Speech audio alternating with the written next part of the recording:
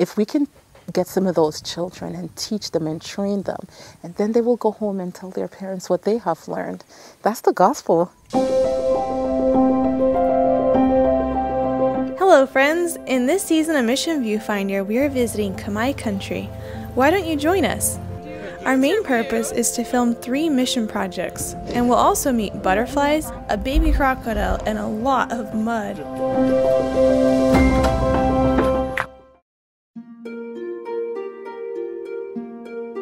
We're out here in the countryside. We are loving it. And we also get to stay in this lovely little, not too little, but anyway, kind of thatched house. Yeah, that's where the missionary family that's here right now is living.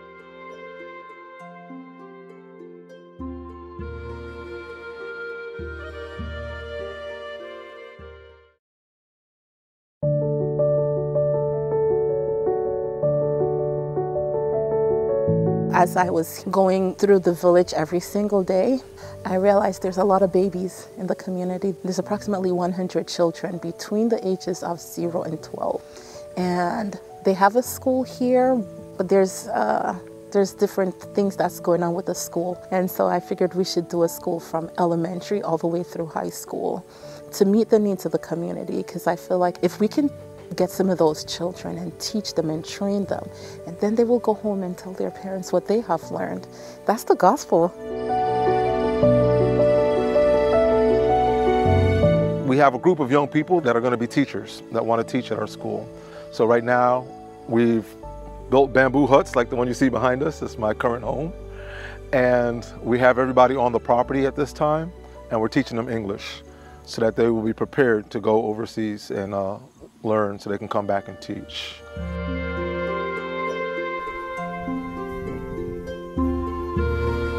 So definitely we do film on these trips, but sometimes you just have to do this.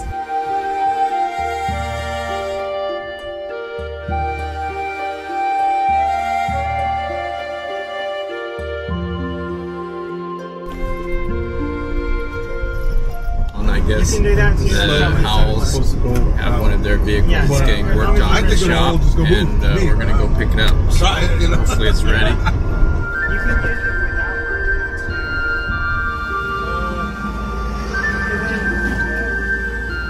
I don't know where the key is. Oh. Oh yeah, there it is. Why wouldn't you look on the windshield?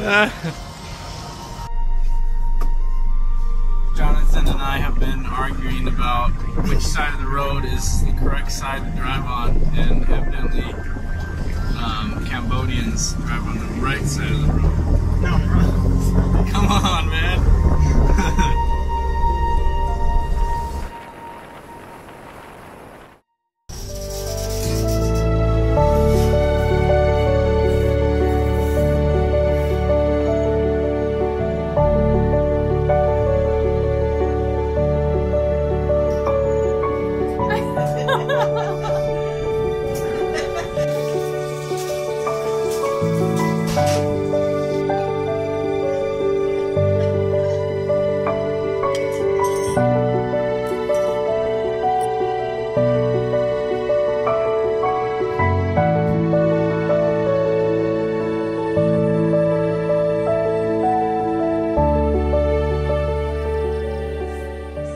The following year, he prayed for two souls a day. And that year, 800 people.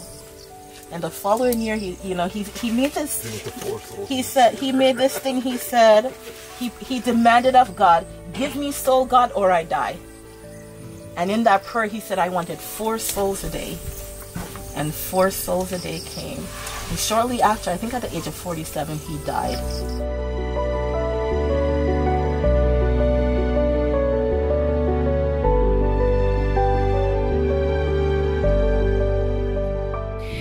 Finished church here. It was a nice little service. Um, definitely more primitive than what most of us are used to, though, from America at least.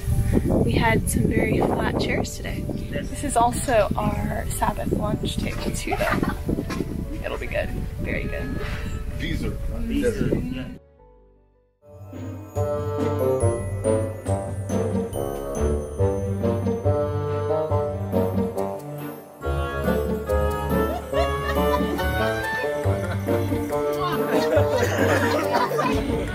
There we go. Oh, he has a beard now. You